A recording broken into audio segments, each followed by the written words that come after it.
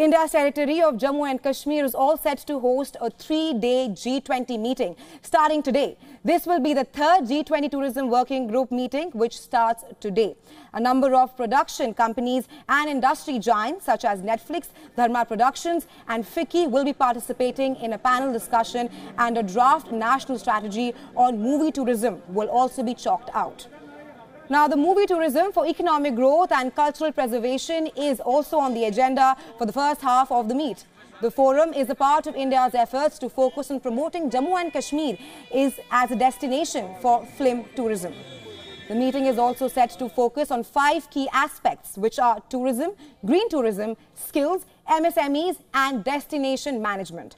A panel discussion featuring speakers from 17 registered G20 member countries and invited countries will take place.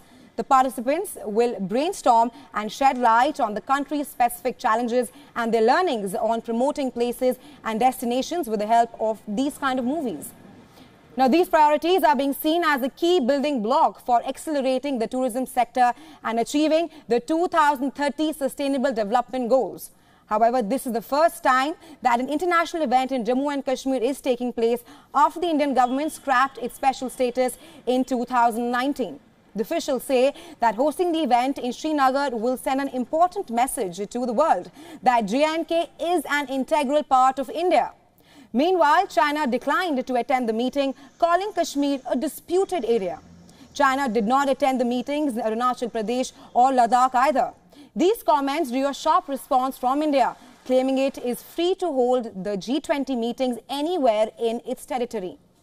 Meanwhile, Turkey, Saudi Arabia and Egypt are also refraining from attending the meeting in Srinagar, which experts assume is due to similar reasons as given by China. India has called out Pakistan's attempts to stop OIC leaders from attending the G20 in Jammu and Kashmir.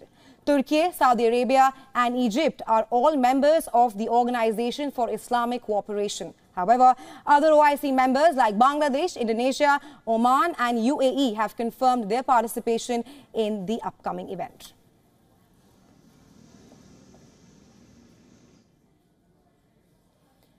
For more on this, our correspondent Idris Lone has sent us this report from Srinagar. Take a look.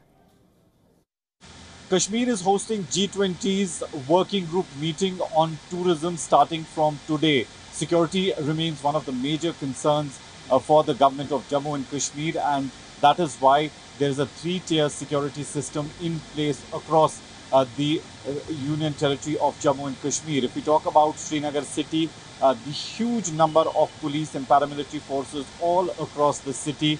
Uh, barricading has been done at every nook and corner.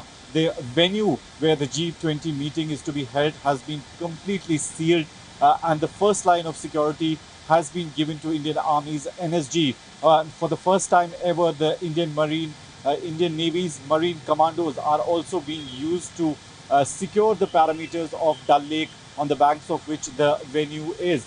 Uh, we're also seeing huge number of police and paramilitary forces on the ground uh, to make sure that the event goes through peacefully. On the other side, the government of India has said that maximum number of registrations have of attendees from various countries have have, have, have been placed for this event. So they're expecting around 150 people uh, to attend uh, the meetings over the next uh, three days. The main uh, topics on which the discussions would be held would be eco-tourism as well as film tourism. Jammu and Kashmir uh, government has already a film policy in place and uh, one window approval for the filmmakers who want to shoot in Kashmir Valley. And they have also added 300 new destinations wherein film crews from across the world can come and shoot across the valley. With video journalist Feroz Idris Lone for WION World is One.